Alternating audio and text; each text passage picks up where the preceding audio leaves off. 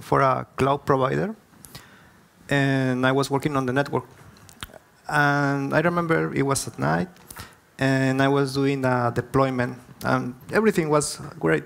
Uh, I was at my home. Yeah, I will say it was a, a good night. And I remember that suddenly I saw red. and as you may imagine, when you see red, it's because something goes wrong. And at that moment, I remember the feeling that what is happening. I was looking at the screen. I was able to see the error, right? But I remember the feeling that I was not able to comprehend why another system was blocking my deployment. If, I don't know, it was related to my, to my change or was another thing, I freak out, to be honest. And I remember that the worst thing was that there was nobody available. It was at that time in the morning that the people in the US were still sleeping and the people in Europe were still sleeping, or they were uh, about to wake up. But yeah, I was alone. So it was not really a, a good experience that I had that night. And let me tell you uh, again another story that this happened a few years ago, and I was already at Cisco, and we were doing a change in a network. And if you're familiar, we have on network devices interfaces. And we shut down the interface because it was par. And when we shut down the interface, we lost the device. It turns out that the management was through the interface and we lost the device. and, the, and the bad thing is that the device was in South Africa and we were in Mexico. So you can imagine I, I, was not able to go to the device, okay, turn on the interface. But at that time, I was not alone. I had a team of uh, engineers with me. We were able to brainstorm. We were able to figure out, hey, if you turn on the interface on a remote device, there's a layer 2 connection that will allow us to recover the device. And we did that, and we recovered the device. The customer never realized that we had that issue, and we were quite happy, and we progressed. Now, what I'm telling you these stories is because on one occasion I was alone, I had an issue, and I struggled a lot. Yeah, eventually I fixed that part, but uh, it was painful. And in the other occasion, I was not alone. I was able to ask other engineers, okay, what can we do? And we brainstorm. So when the AI part started to become popular, I realized, hey, if I have someone who can tell me what the issue could be, that will be super helpful. At least give me a clue of what is happening. So that's why uh, today I'm going to show you a proof of concept of how AI can help you to troubleshoot a network issue. Now, before we st I start, I'm just curious, how many people here are application developers? Okay. How many are infrastructure developers? Okay. How many uh, deal with the network? Okay, we have 50-50. Okay, I, I, just want to make sure the talk is appropriate for both words, and I can give you the best. So the agenda that I have prepared for today is quite simple. So I will go through how I was able to design this solution. I consider that this is the part that is useful for developers as well. Then, if we don't have issues with the network, I'm going to be able to show you a demo, a real demo. Otherwise, I will have to go with a video. And finally, uh, wrap up. So let's start with designing the system. And in this case, when I was working uh, with this idea, the main challenges that I had was, OK, how can I send the data to the AI? And also, how can the AI access my data, in this case, my network devices? And that was the thing, OK, how can I build a system based on these challenges? Um, to start, I had to think, OK, how can the network share data with the AI? And in this case, if you are not familiar with network devices, we have several ways to interact with, uh, with the devices. We have traditional methods, which I can tell you are for persons, are not really on structured data. So when you want to automate something, it's painful. And I highly recommend don't go that way unless you have to. But we also have native programmable interfaces on the network devices now. For example, Netconf, RESTconf, and GNMI. And by the name, you can assume RESTconf is based on the REST uh, specification, and GNMI is based on gRPC, so it's better, it's highly performance. But in this, in this POC, I had some limitations. So yeah, you need to, to figure out, okay, what devices you have, and if the device supports what features. In this case, I had to use netconf because that was what the devices were able to support. Then, once I'm extracting the data from the network devices, I need to work with the data, right? I don't want to send everything to the LLM. I just want to send to the LLM the relevant parts, right? And in this case, I was thinking, okay, I need some observability solution, and the best way, you, know, you already know that part, is to go to the CNCF, check the landscape, and see what it is available. Check your requirements. You, you may already already have this part. But in my case, for example, my main requirements were netconf, because that was what my devices supported, right? And they should be reacting to metrics. And for me, this is the, the key part. And this is where I came where the solution that I had. I'm using the tick stack. Basically, I can use Telegraf. Even though there's not a direct um, connection between Telegraf and Netconf for my devices, Telegraf has a Python plugin, so I can execute a Python script. And basically, I was able to put a Python script that is collecting the netconf data from the devices. I'm using InfluxDB as a, my time series database. But Grafana, that's the thing that for me is important because Grafana is able to, okay, show me the data, but at the same time, I can define alerts. And that's the key part for me. When, so, when there is a condition happening in the network and the condition is met, please send me that uh, alert. And in this case, it supports webhook. So for me, that was like the key point. Okay, I can send something programmatically to the AI. The next part is to pick an LLM.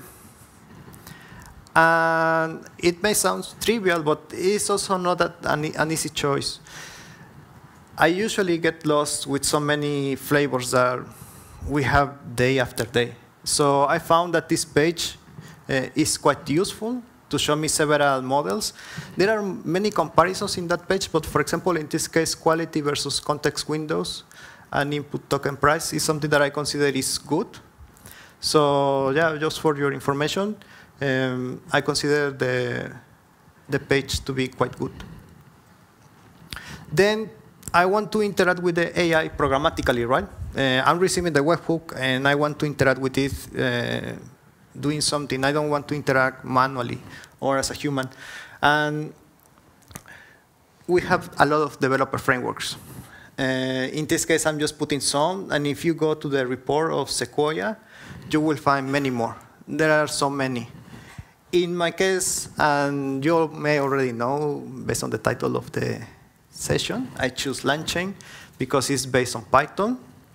Actually, let me show you this. It's based on Python. It has some nice abstractions that for me this is key. I don't want to put everything. Um, it's uh, LLM agnostic. So if, late, if I started with OpenAI and later I want to use Mistral or Gemini, it should be quite easy to move. And if there's a problem, we already know that there's a community around where I can just open an issue and, ask for some help. I usually, that's the way I, I work and I find my way around.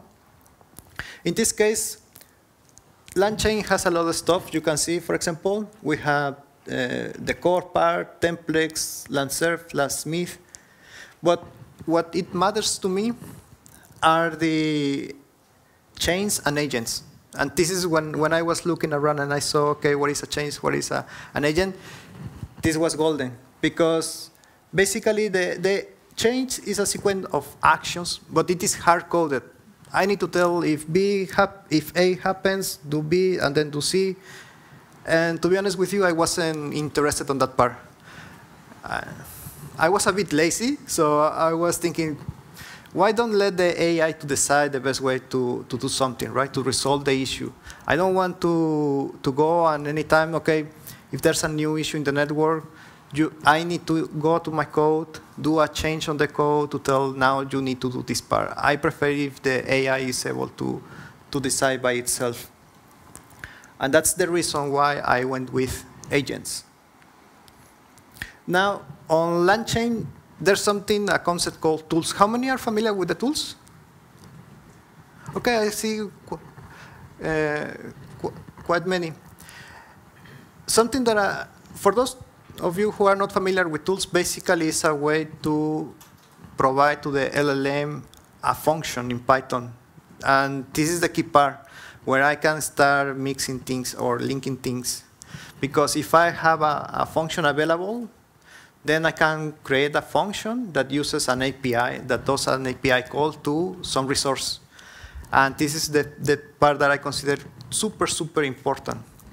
But if you see, there are several parts on, on this tool that are important. First, I have a, a very descriptive name. And this is quite important for the LLM. It needs to understand what it can do with that tool. And I found that um, it was a bit tricky. I have to be very, very specific, otherwise you get some results that were strange.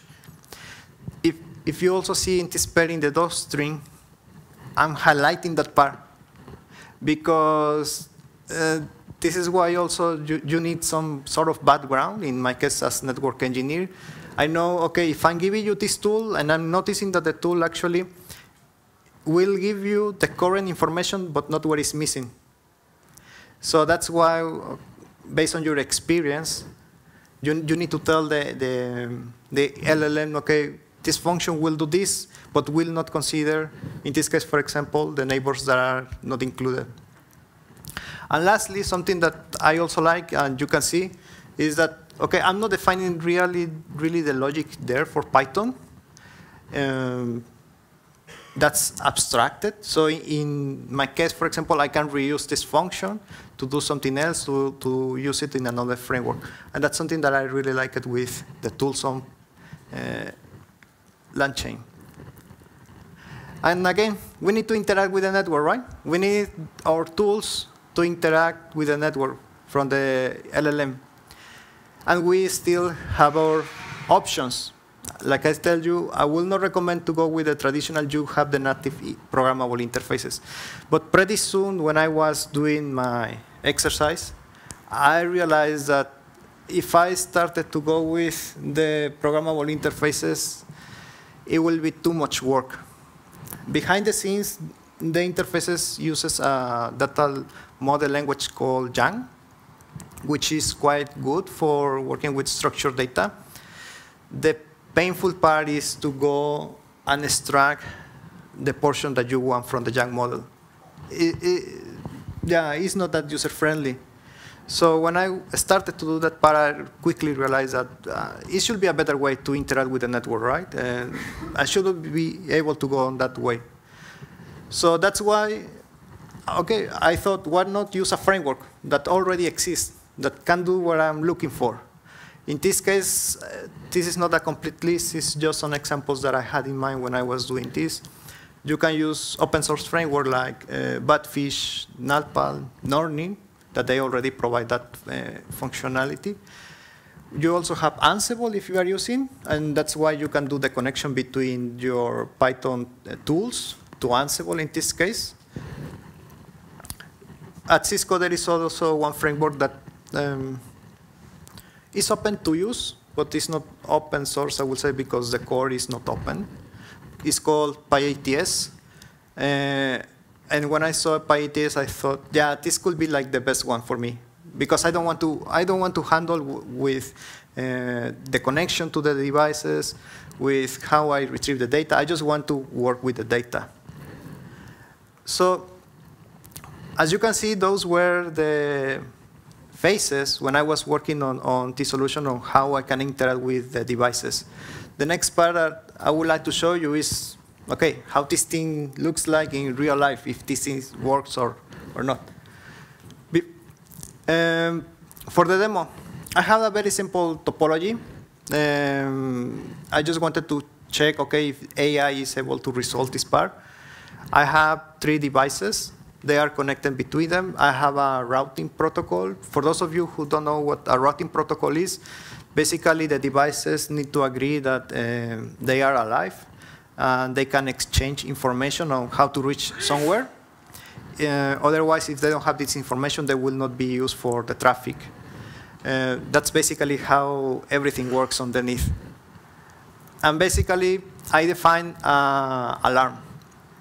And the alarm is if the average uh, number of neighbors in 30 seconds is less than the average number of neighbors in 30 minutes, then send an alarm that ISIS is down. Uh, this allows me to have n number of neighbors, so I consider, yeah, this, this, this is a good example. Um, and now, I want to explain to you the flow, and I consider this is important so you can understand what is happening on the demo. You can see I have several uh, parts in this case. I have my network devices, my observability solution. I didn't comment, but I'm using Fast API. That's where I put LangChain, and that's where I do the connection. Uh, I have also PyATS. I'm also using WebEx. That's an instant messaging application that we have at Cisco. And I use it because it was easy for me to use. But basically, uh, I'm interactive via REST APIs. So any front-end uh, application that uses uh, REST APIs can work on it. Um, to start, so the, the observability is checking my network devices. When the, when the, the condition is met, I receive an alert. An alert is triggered from the observability to WebEx to me. So I, I need to know something happened, right? But this also send the alert to Fast API. Fast API then calls LangChain, LangChain calls my agent, and basically it starts some interaction in this case uh, between my agent, LangChain, and PyATS. And then PyATS goes to my network devices and start retrieving information about the issue. And this is the part where I can see, okay, the AI is troubleshooting. Finally, once the AI finishes, it will send me the information to WebEx, and I can interact with it. So let's, let's go to the demo.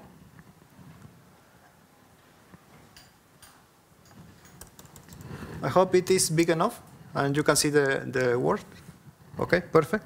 So I don't remember if I, for, if I commented, but uh, the code that I'm using is available you can run this example by your own. And this make command is really a wrapper about around uh, Docker Compose, so I don't have to type everything. So now my server started, and now let me go to, like I commented, this is my topology. I have access, so yeah, I need to type some commands. I know that this is all for some people, but yeah, this is the way it is on networking. So you can see I have interfaces up. So do show ISI. I have my ISIS neighbors up. Um, what, what I'm going to do is to shut down this interface, interface gigabit 5, to, to break ISIS. I know that you already know the issue, but suppose this is happening and you, uh, on your network. So let me go interface gigabit 55. And before that, okay, I can. This is Grafana that is currently monitoring. Everything is good. So let's shut down. I shut down the interface, and I should be able to see that here on Grafana pretty soon. Finger crossed that this works.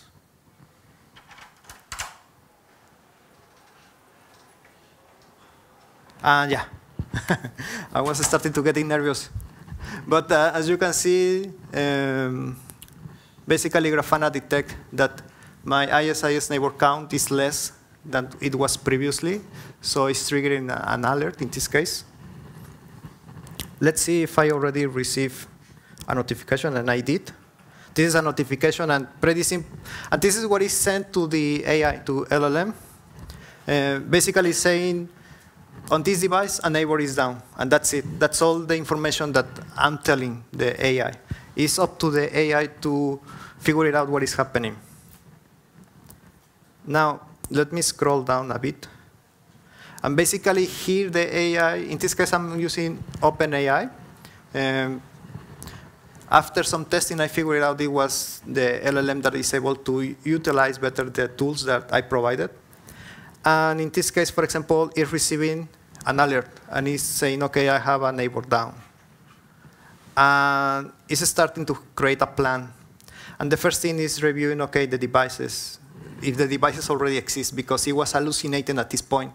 And the first thing that I have to share with the AI was, no, the first thing you need to do is to verify if the resources that I have described actually exist. And don't invent anything because he was inventing the, the devices.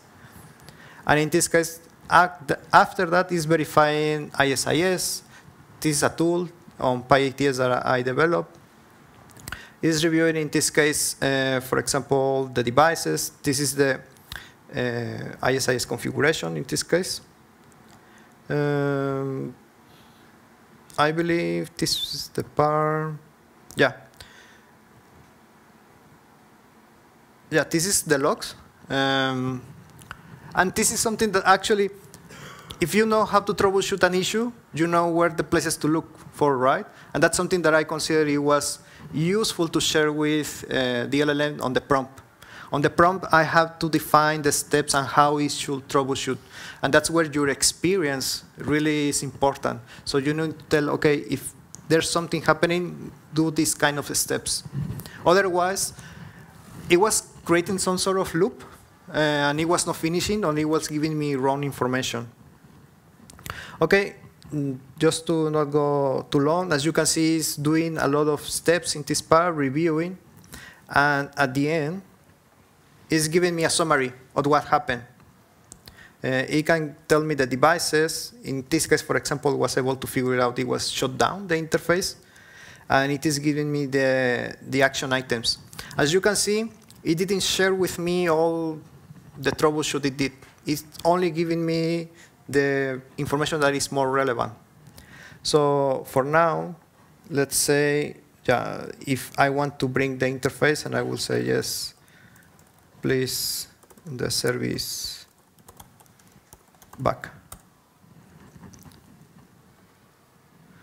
Okay, um, and also another thing that I learned was that by itself it, it, was trying to do the change without my confirmation.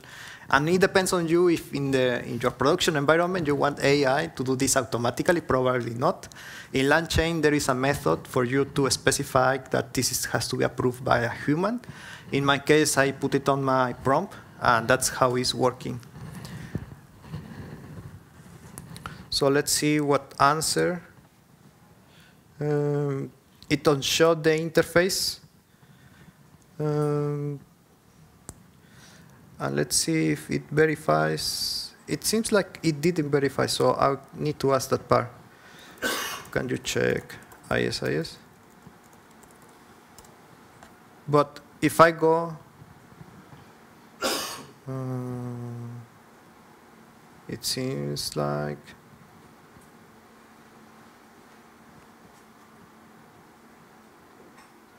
okay let me see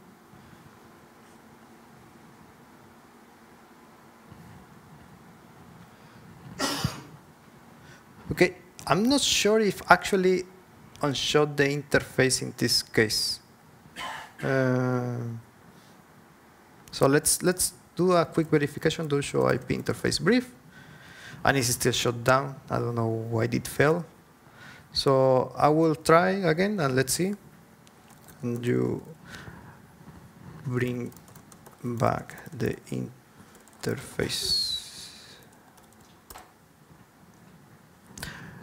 I can tell you in the, if you go to the repository that I'm sharing on the slides and you see the demo that I recorded, actually at that time the, the LLM unshot the interface without issues and then it reviewed the device.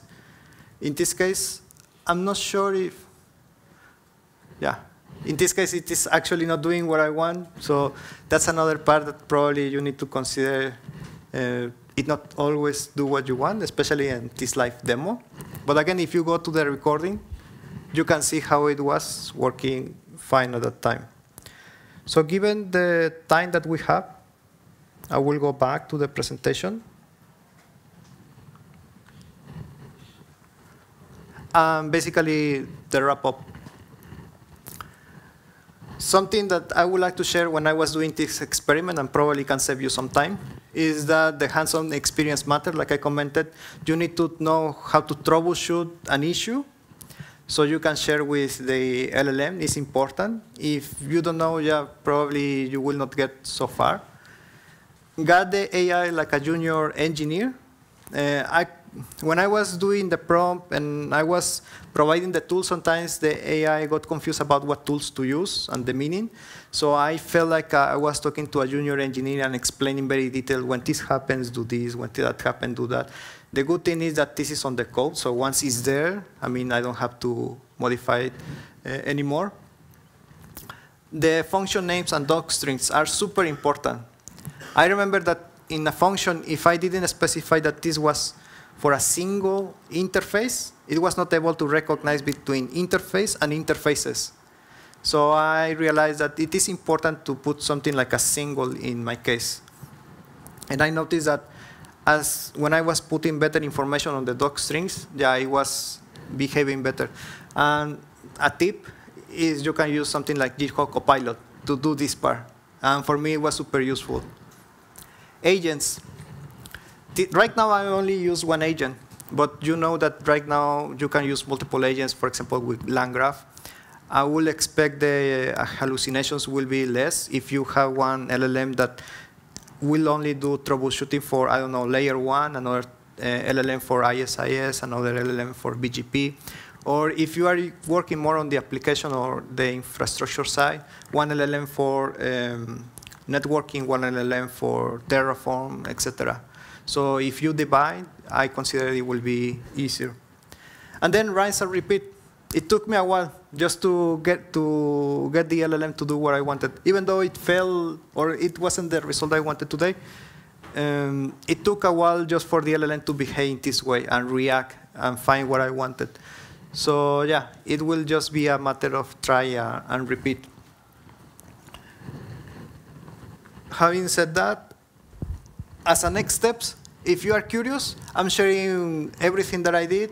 Um, on the on developer.cisco.com on Sandbox, we offer free resources. So you can reserve one sandbox and basically use my code there, and it will not cost you anything.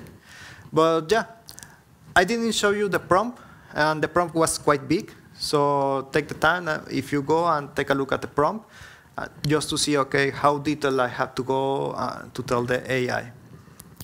And having said that, I think we have two minutes for questions. Any questions, comments? Yeah. Uh, thanks, very interesting. Uh, so what is the future of it? Was it your lunchtime project and uh, now you just leave it there or, or is on the Cisco roadmap to make it bigger and better? Yeah, this was more an experimentation for developers on Cisco, there are official products now that are starting to use AI, where you have an assistant and the assistant can do this part uh, of troubleshooting, but those are products for enterprises, paid products. In my case, I just wanted to show you how you can interact, how you can use AI for troubleshooting. In my case, I'm not doing any RAG. It was just the AI interacted with my devices. Hmm? Yeah. Have you found somewhere some uh, LLM models dedicated to BGP or other protocols? An LLM that is already specialized? Yeah, or some data sources we can use to refine a model? No, I haven't. I, I, I haven't found anything in LLM, but there was a talk today here on this room about uh, Instruct Lab from Red Hat and IBM, and I thought it was quite interesting if we can start to do some collaboration with them to have a networking specialized LLM. Yeah, yeah. Okay, if there are no more questions, and I believe we are out of time, thank you so much for your attention, and yeah, thank you.